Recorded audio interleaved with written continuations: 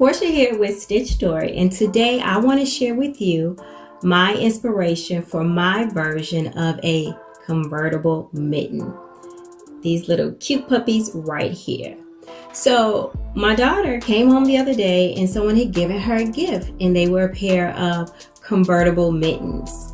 And immediately I'm like, oh my God, I want a pair. Now, her mittens are from Victoria's Secret. They are super cute, super blinged out. There's bling glitter running through the threads. There's bling on the cuffs there. And so I'm like, oh my goodness, I want a pair. I don't care if I'm matching you. I'm going to the website right now to order it. But guess what? They're sold out. So shame on me. Honestly, I'm a knitter, I'm a crocheter. Porcha, make your own. That's what the fates was telling me. That's what the world was telling me. Just make your own. So I was inspired to make my own pair. I was kind of forced into it, but I, I love the outcome.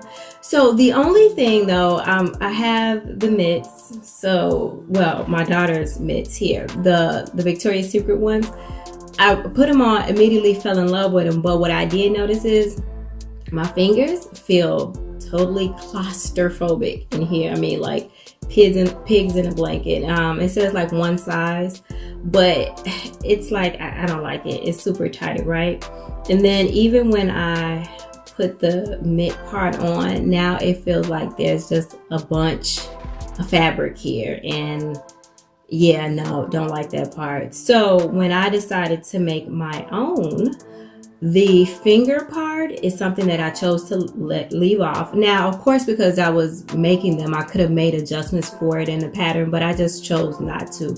I like the way it feels with just having your, your fingers come through. It's, it's more uh, flexibility uh, on my side.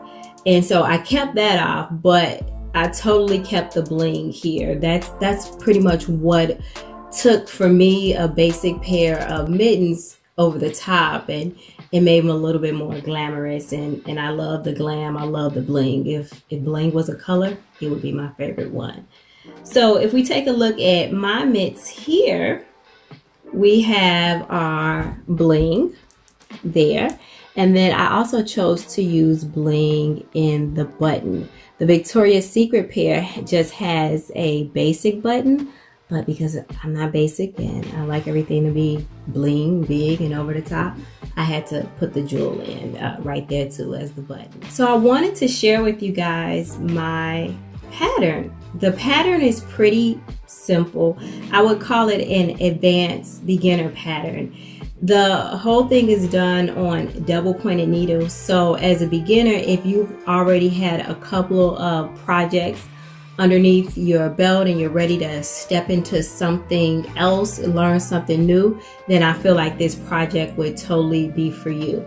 I show you how to knit from the cuff all the way down to the last stitch, which is completing the um, thumb here and then adding the bling and all that good stuff. So that's a two part video. I didn't want it to be too long for you guys, but if you just take your time and follow along step by step, you too can complete a pair of bling mittens and in the in the pattern you just make adjustments for the length of your palm. You can make adjustments for the thumb. You can even make adjustments for the cuff here. I did decided to do a four inch cuff because i wanted to have two inches to fold down but um, if you have any questions or concerns about the Victoria's Secret pair or even my convertible mitt, just drop it right below in the comment section. I'll be sure to get back to you.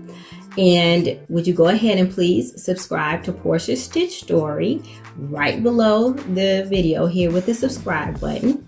And until next time, bye bye.